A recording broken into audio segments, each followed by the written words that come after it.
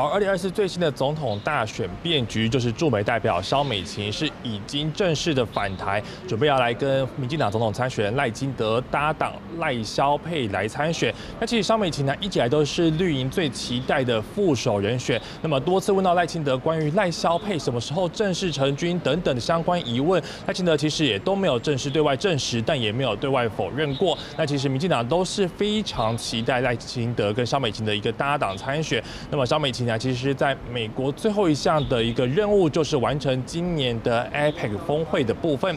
那么，其实他在结束 APEC 后之后，大家都认为说这是他的一个毕业的一个作品。那么结束之后，他其实就要来返台，来跟赖清德搭档参选。那么，其实据了解啊，赖清呃上面显示在昨天在。这个六点四十一分时候，跟着 APEC 这个代表张忠谋一起返抵台湾的。那其实他回台时候是相当的低调，那没有现场的任何摄影记者拍到肖美琴的身影。但据了解，其实肖美琴人就在班机上面，那也有乘客表示说是有看到肖美琴的。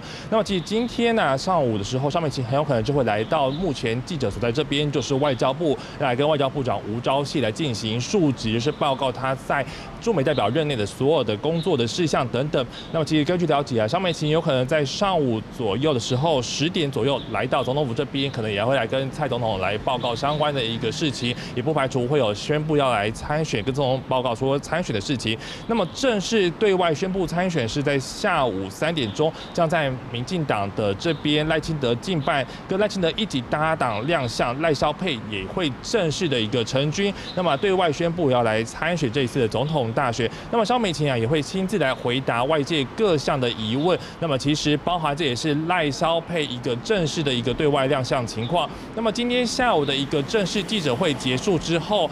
明天上午，赖萧佩也就会来到中学这边来登记明年的一个总统大选的一个情形。那么，张美琴预计在二十六号就会来到花莲这边来进行他的第一场的浮选工作。那绿营都非常期待赖清德跟萧美琴可以形成一个双强母鸡的一个组合。包括萧美琴是有女性的一个特质，还有年轻，甚至也可以吸引银粉。他们绿营也希望说赖萧配成军之后，可以帮赖清德的选情更加升温。以下先有最新。